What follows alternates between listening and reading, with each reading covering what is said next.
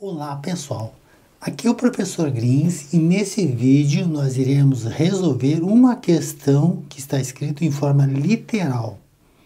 A questão diz o seguinte, o quadrado de um número positivo, tem que ser positivo, menos a metade desse número é igual a 3. Qual é esse número? Então nós temos escrito em forma literal e temos que escrever em forma de equação matemática. Lembrando também que no final do vídeo eu vou deixar outros exercícios para vocês tentarem resolver com resposta, é claro.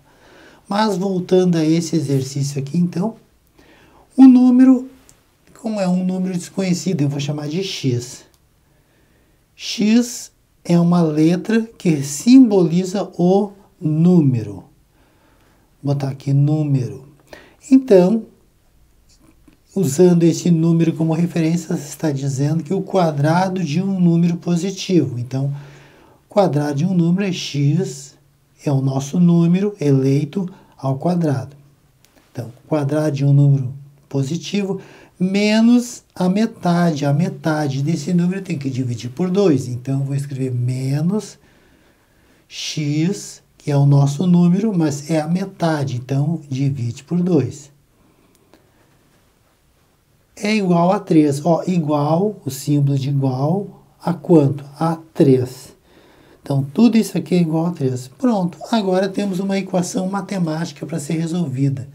Pelo jeito, é uma equação do segundo grau. Vou começar tirando o mínimo múltiplo comum aqui para achar esse número, né? Temos que resolver essa equação. O mínimo múltiplo comum, quando tem um número apenas e o resto tudo é, do, é 1, um, então, o mínimo múltiplo comum é o próprio 2. E aí eu faço o quê?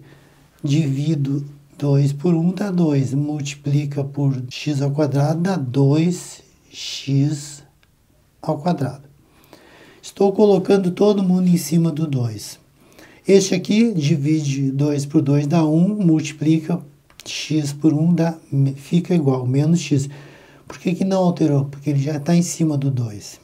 Então, por isso que não mudou. Já os outros, do outro lado tem um aqui, 2 dividido por 1 é 2, vezes 3, 6. Feito isso, eu posso e reescrever tudo passando esse 6 para o lado de cá. Então, 2x elevado ao quadrado fica como está, menos x, e esse 6 pula para o outro lado, menos 6, igual a zero. Olha aí, pessoal formato de uma equação do segundo grau prontinho para aplicar Bhaskara.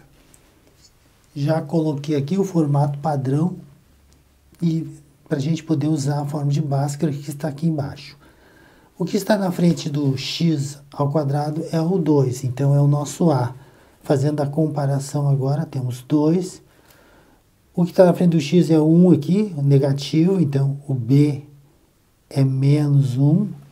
E o seu que está sozinho, que não tem x com ele. Então, menos 6, que é, está aqui. Substituindo esses valores na nossa formulazinha, o menos da fórmula está aqui e o b é menos 1. Então, tem um outro menos que é devido ao número, menos 1. Mais ou menos raiz de b ao quadrado, que é o menos 1 ao quadrado, menos o 4, que eu estou só copiando aqui, vezes o 2 vezes o menos 6. Tudo isso dividido por 2 que multiplica que multiplica 2. Claro, o A também é 2. Bom, resolvendo agora, segundo passo, né? Esse menos, imagina que tem umzinho aqui. Menos com menos dá mais, então para imaginar, né? Por que, que ficou mais? Porque o menos vezes o menos dá mais. Regrinha da multiplicação. Este aqui, menos 1 ao quadrado, é menos 1, que multiplica menos 1. Menos com menos dá mais 1, então aqui não precisa colocar um mais quando é mais, fica mais. Menos 4 dá menos 8, menos com menos dá mais 20, não, 48. 48 aqui embaixo. Mais 4 vezes 2, 8, 8 vezes 6, 48. 48.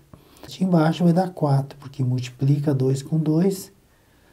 Então, dá 1 mais ou menos 1 mais 48 é 49 e raiz de 49 é 7, que eu já vou colocar direto aqui.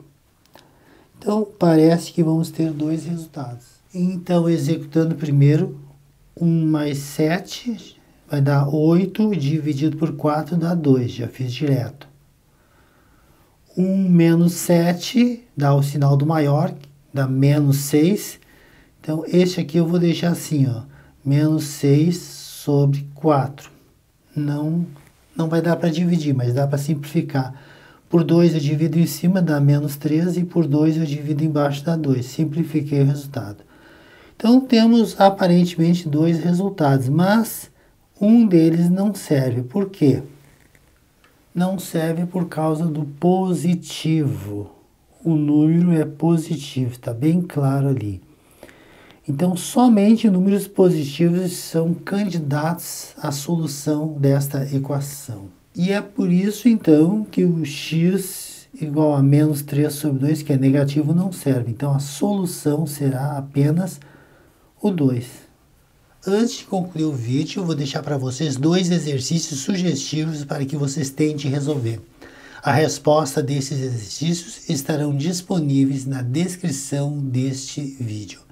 Também conheço os cursos que eu estou enviando através de e-mail e pendrive.